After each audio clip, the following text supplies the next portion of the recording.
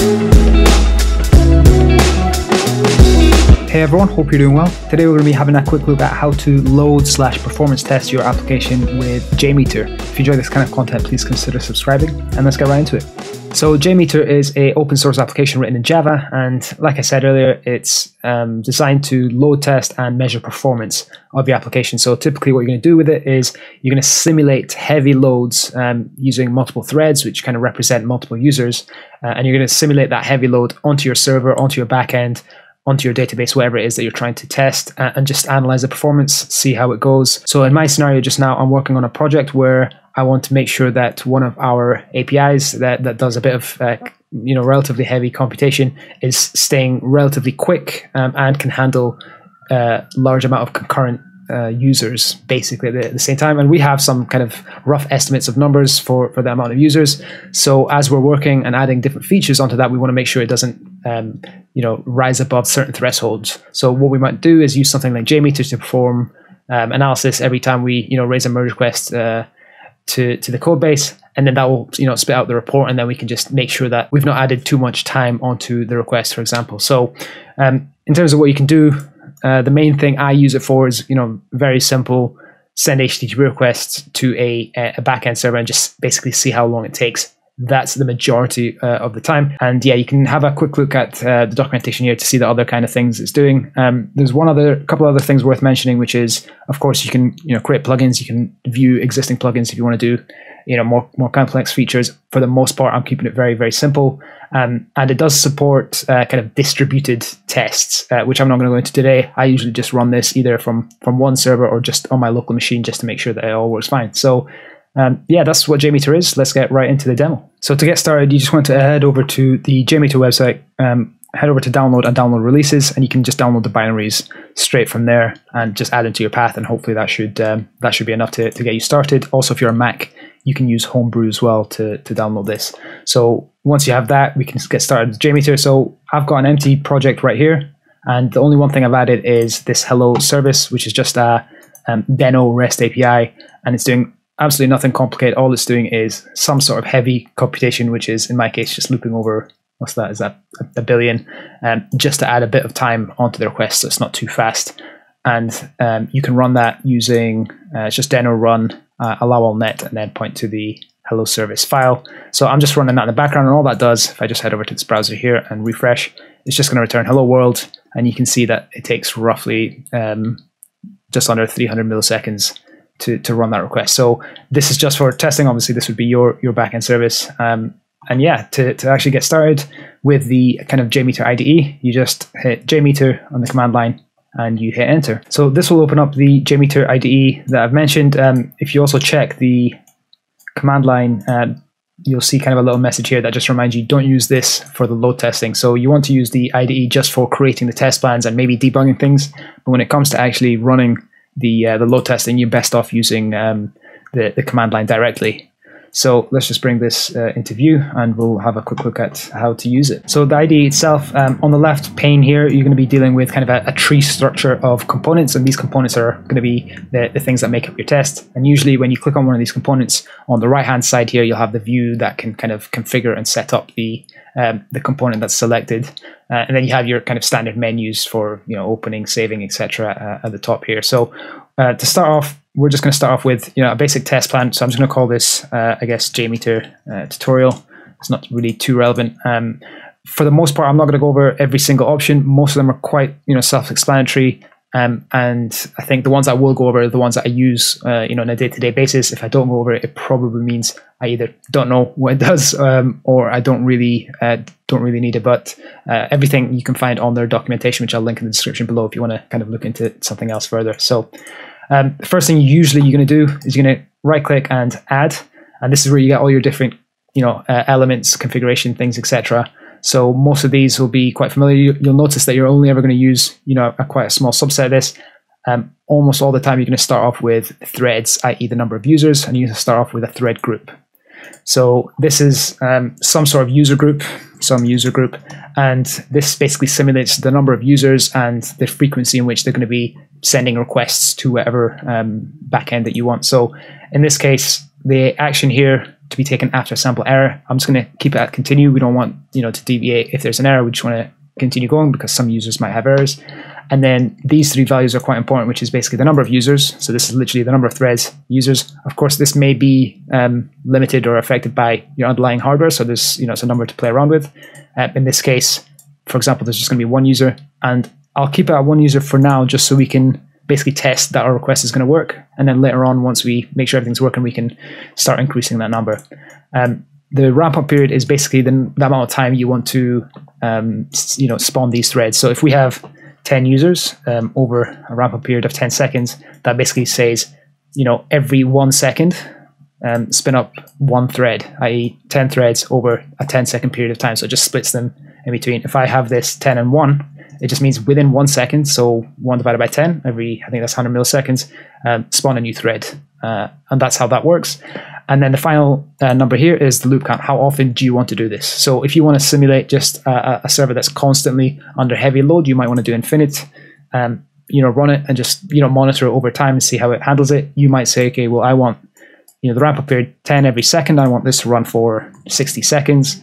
Um, you know, a short period of time, a short burst. You can play around with these numbers and see how that goes. For now, I'm just going to keep them all at one, um, uh, and uh, just do some basic testing there. So let's start off with a simple HTTP request. So um, most of the time now I'm going to be within this thread group here. So I'm just going to right click again. I'm going to add, and um, a sampler is basically something that does an, action. So that's what we're going to jump into now. A sampler, and you have all you know your different types of samplers here. I'm going to pick the HTTP request most of the time. This is the only one um, I'm going to be using. And when you have the HTTP request, again, you're just going to pop in the details for your uh, server. So localhost by default is HTTP uh, port number 8002. It's a GET request. I don't have any path. Um, I don't have any you know additional body data request headers, etc. So I'm just going to keep it at that. And you know to test out locally, you just hit this play button here. So I'm hitting this play button here, and it's going to ask you to yeah for the first time it's going to ask you to save it. So I'm going to hit save, and I will just rename this to JMeter tutorial and it's a JMX file. I'm just going to save it within the, the repo itself. This repo will also be available on GitHub. Uh, I'll pop that in the description below if you want to have a look. So now that we've got this request again, I'm going to hit play, and you'll see that that's you know that's not really done anything here, um, but we know that it, it has actually performed a request. I can click on this little icon at the top right to see the logs, and if we were you know to look at the logs, we can see that it started um, a thread, finished a thread, um, and it notifying the, the test listener. We don't have anything set up to basically listen or to, to, to give us a report. So let's quickly add that so we can actually see uh, the results of the HTTP request itself. So uh, I'm going to right click um, and you'll notice here that I'm, I'm right clicking on the HTTP request. Uh, because I've only got one thread group and one request, I can add the listeners um, to either place. The way the listeners work, um, the listeners basically are going to listen out to re- the results of your requests and generate some sort of report. And they will typically generate a report within the same level and maybe anything below them.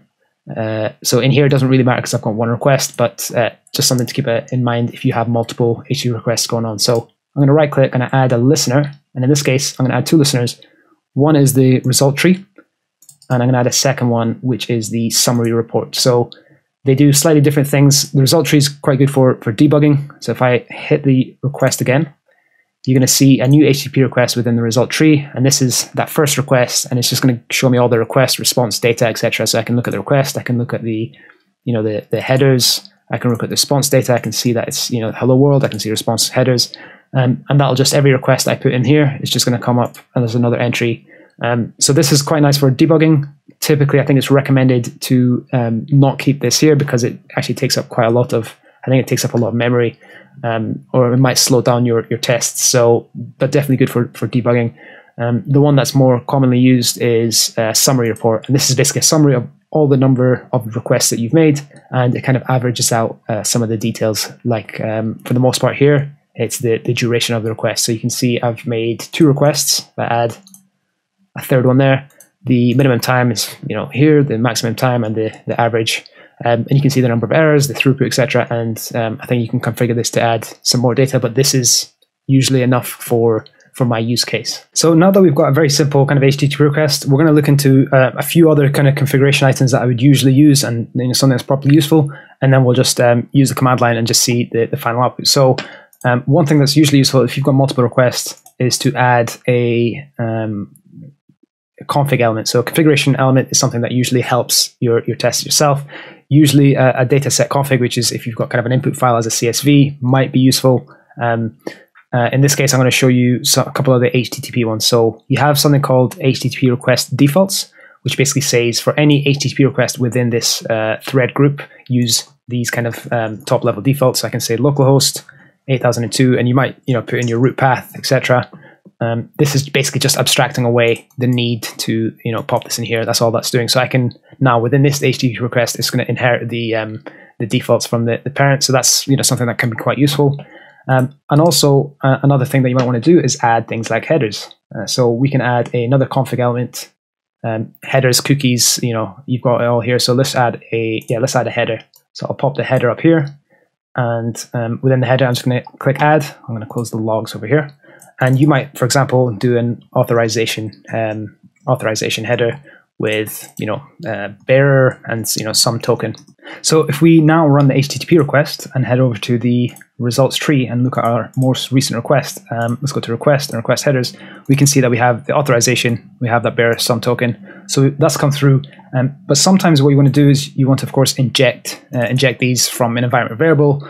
Um, basically because you want to test different variations, especially on, on CI, etc. So the the way you do this is you can use some built-in functions with JMeter to to read basically read properties um, and uh, in, inject that value. So you can use this syntax here, which is dollar sign and these curly brackets. I think you can use it pretty much anywhere you have normal values. For example, in the start when we're doing thread groups, um, you might want to replace that with a variable so that you can test different numbers um, of users uh, for each different test. And there's some built-in functions which I'll link to in the description below. One of the ones is underscore underscore, uh, and I think it's capital P for property. And then you just pass in a, a, a defined key. So I'm going to do, um, let's call this auth token. And of course, this doesn't exist yet. So if I run this here and I head over to the, the results tree, that's just going to be one. I think one is just basically uh, the, the default return if it, if it doesn't find anything. So what we want to do actually is we want to restart JMeter in this case, but we want to pass in um, either a, a, local property, a JMeter property, or a, a, Java property, or an environment variable. So I'm going to move this to the side. Um, I'm going to Control C uh, out of this. Oops, there we go. And I'm just going to run JMeter again, but this time I'm going to run hyphen J. I'm going to pass in my uh, header, which is, I think I called it auth token, um, some token here. And we're just going to run that again. Uh, the hyphen J is basically passing in a JMeter local property. Um, so let's bring this IDE back. And now uh, I can open my existing JMeter tutorial. And if I just run the request again. So I run it this time and I go to the summary results and I open this up, go to request, request headers. You can see that that has now been injected in from the uh, header manager as the as a token. So that's basically how you might um, inject variables, and that's also how you might do HTTP headers. Cool. So the final thing that I think it's worth having a quick look at is assertions um, within the IDE. So assertion is exactly what it sounds like. It's going to do some sort of check, and it will you know pass or fail your test. So if I head over to my HTTP request, um, I can add an assertions, and usually I'm only ever kind of dealing with a duration uh, assertion, which we'll look into in a minute. But I think it could be quite useful for some people as well to do a response uh, assertion. But generally, I'd, I'd, like to kind of recommend to keep it simple. Uh, if you want to do actual, you know, you want to check the, the response of your um, application and, you know, do those kind of checks, that probably belongs in a different type of test. Uh, but it might be worth just kind of sanity checking that you know you, are getting a 200, or if you're using status codes in a slightly different way, also might be worth checking those. So um, I add a response assertion here, and it's again pretty you know intuitive here. You can assert on you know the the, the text response, the data, the response codes, the messages, etc. So for example, we can check the response code. We can do the matching rules. So I want the response code to equal to, um, and then here you add the patterns to test. So I want the response code equal to uh, 200 here, 200. Um, as long as it's 200, then I'm going to assume it's a you know successful test. If it's not, it's going to fail. So if I press play here and I head over to my results tree, the um, you know we can see it like normal. There's a green tick. Now if I go back and change that to, for example, 201, and I hit play again, we can see there's a failure, and under that failure is going to have uh, this response assertion failure, and it's going to tell you I expected to see 200, but instead I saw 201. So that's how the response assertions work. Um, let me put that back to zero. And the more common one that I use is the duration assertion here. And I basically use this to see how many of my requests are, you know, within a certain threshold, right? So, um, for example, here, let's put in roughly, um, I think 235 is somewhere in the middle, maybe 240. But so basically anything above this is going to flag as, as failed. Um, I'm not going to, you know, fail my CI or anything. This is just to see a percentage of my requests that are hitting over that threshold. Um, and now if I hit, uh, if I go back to this results, I'm going to clear this and I'm just going to hit play. And we're just going to hit play a few times and see if any of them hit under. Um, they might not, I guess. So if I go back to my assertion, actually, let's go to the, the tree and let's just see how long each of these took. 273, 277, 272. Yeah, so it's roughly 270 actually. So we can, let's up this to 270 just now. Um, there we go. And I'll run it a few times again. And you'll see, there we go. So we have a few few success. This is 266. This one is 267, but the one below was, um, yeah, 280. So this one is quite useful. Uh, and if you go to the summary report here, you can see that altogether, um, I've been making, I think altogether, 16, um, 16 samples or 16 requests, of which quite a few of them have failed, um, and the rest of them pass. So this is quite a good uh, way to basically check if you're hitting your thresholds. So I think that covers everything we want to look at on the IDE. So I'm just going to hit Command S. I'm going to make sure that I've saved this, and I'm just going to close this out.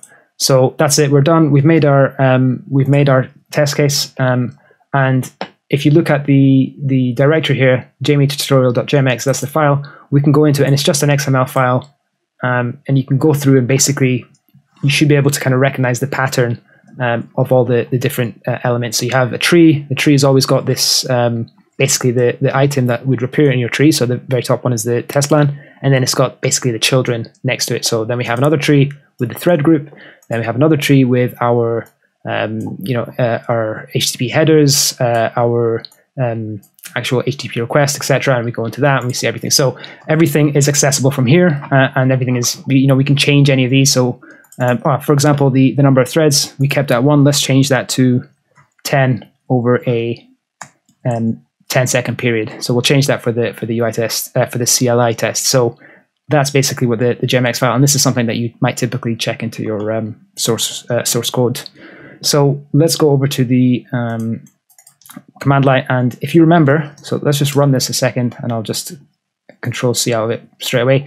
It gives you advice on how to, to run the test here uh, on non-UI mode. So if I do JMeter, hyphen N just means non-UI mode, i.e. CLI mode.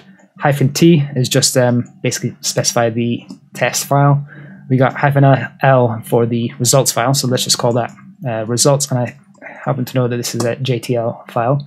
Um, hyphen E is basically telling it to put all the output onto into a report. So basically output the reports, and then you do hyphen O and you point it to a report folder. Basically, where should I output the um, the results?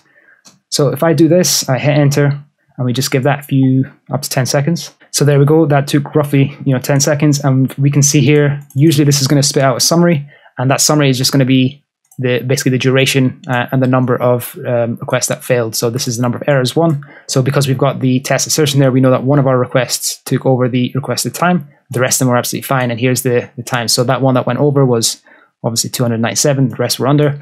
Um, and that's it. Most of the time I'm looking at this, but if you want kind of a more comprehensive view, what we can do, you can jump into the project. Now we should see this report directory. So if I jump into the index.html, and let's just open that up on Chrome here um, on the right hand side, and I'll just expand this. There we go. You can basically see a nice little report about the test result that you've just uh, performed. So we can see that's the 9010, the one failure. Um, we can see all the requests. We can maybe dig down into the error, and then we can, you know, jump into the charts. We can, you know, look at the response times. There's lots of different kind of graphics, etc., that you can have a quick look into. Um, I'm not going to go into too much detail there because you can just have a, a play around with all of these and open up the different charts and seeing um, the results. Again, for me, most of the time, this right here is enough. Just get a rough idea of the performance. The only other thing worth knowing is, yeah, you have the, the results file here, and this is basically a line for all 10 of our requests and it has you know the split the, the, details for each one of those if you want to see them there. And obviously you've got the log um, i usually add a gitignore to, to remove these. I don't really need to, to see these because all of these are available elsewhere. But um, i think that's everything i wanted to cover in this video. So thank you very much for watching. Have a good day and i'll see you in the next one